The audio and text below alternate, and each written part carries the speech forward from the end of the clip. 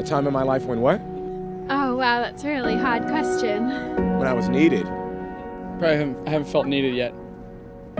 So far, I've been needy. My sister, she needs me. I'm actually being needed right this second. Excuse me. There was this kid in my class named Brady, and I thought about standing up for him. I didn't want to be embarrassed, so I didn't, but I should have. Yeah.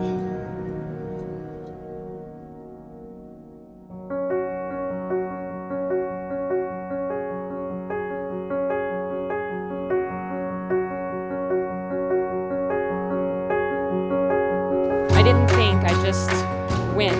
When, where, how? What do we need to do? It felt very exhilarating to sort of have that feeling of being a hero. I felt like I was necessary. So I fell to the ground with her and just laid right next to her. And uh, she go, why did you do that for? And I said, because uh, someone needs to be on the ground with you so I could help you up.